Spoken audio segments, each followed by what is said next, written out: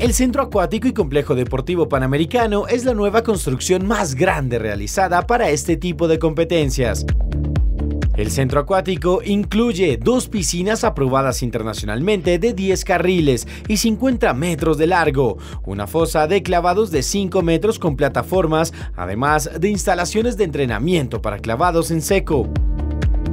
El complejo deportivo dispone de un espacio de gimnasio flexible para entrenamientos y competencias, así como una pista bajo techo y zona de acondicionamiento físico con equipos para entrenamiento cardiovascular y pesas.